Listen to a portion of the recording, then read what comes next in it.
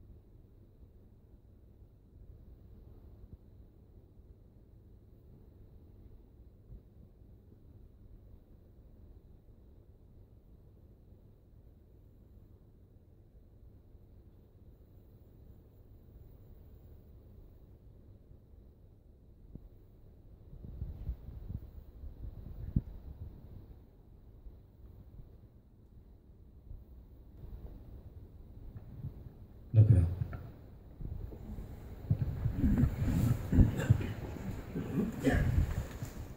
De schokkende beelden, de blinde paniek, de enorme dramatiek die daaruit spreekt, heeft ontzettend veel mensen geschokt.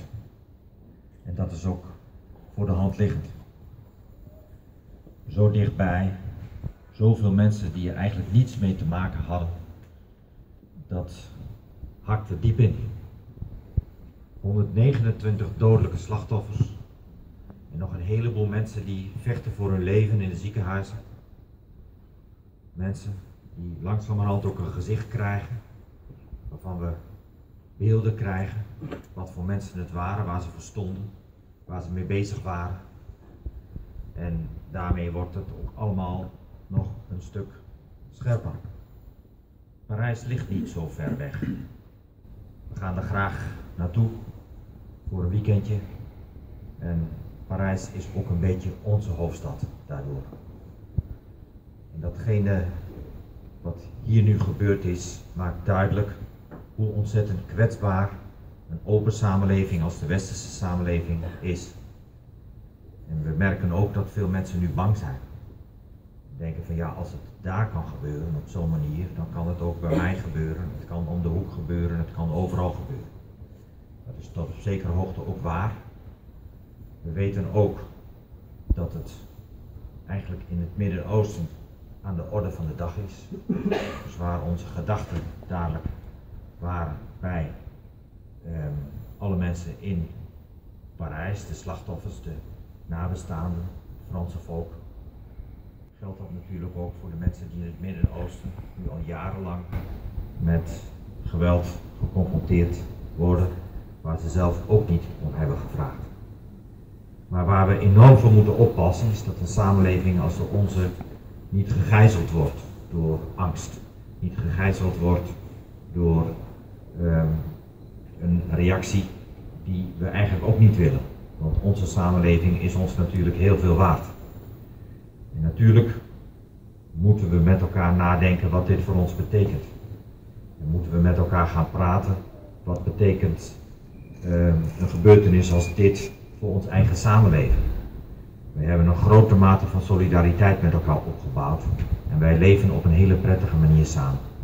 Dat moeten we natuurlijk niet te grabbel gooien met het uh, discussiëren over datgene wat hier nu gebeurt. Maar waakzaamheid blijft natuurlijk geboden.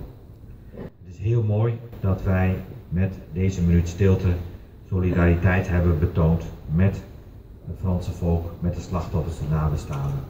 Maar tegelijkertijd doen we het ook een beetje voor onszelf. We vinden het ook fijn om op deze manier uiting te geven aan de gevoelens die we hebben. Daarom is het ook mooi dat we met zoveel hier zijn, ook al is het een gewone werkdag en zoveel mensen gewoon op hun werk zijn. Het is fijn dat dit kon en ik dank jullie heel hartelijk voor jullie komst.